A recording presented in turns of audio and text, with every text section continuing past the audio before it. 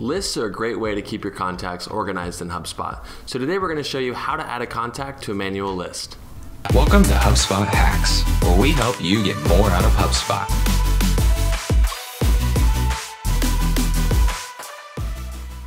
Inside of HubSpot, there's two different kinds of lists. There's active lists, which automatically update based on the filters that you've set up, and static lists, which are updated manually by you. And with static lists, you're actually going in and selecting contacts to add to the list. We've already got a video on how to do active lists, so let's show you how to add a contact to a manual list. So in here, we're in our contacts view. You get here by just clicking contacts and clicking contacts again. And we're gonna select Tyler here one of my many records inside of our CRM. So it's not super easy to see on the contact screen where you go to actually add the contact to the list. So what you're actually going to go is you're going to go to the right hand side here, and the orders of these might be different uh, based on your portal and how you have it set up.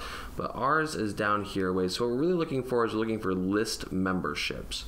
So we're going to find that, and then we're going to click this button for manage list memberships and then we're going to click add to list at the top here. So the only options that you're going to have here are going to be the static list. So you can't add a contact manually to an active list.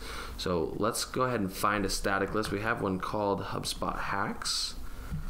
Select that, click add. And now we can see that the contact has been added. If we go to our lists now, and click into that HubSpot hacks, we can also see on this screen that the contact has been added. So that's really all there is to it. Not that easy to find inside the contact record, but once you find it, really easy to do. Go ahead and hit that subscribe button for more HubSpot hacks, and don't forget to let us know in the comments below what you'd like to see us cover in a future video.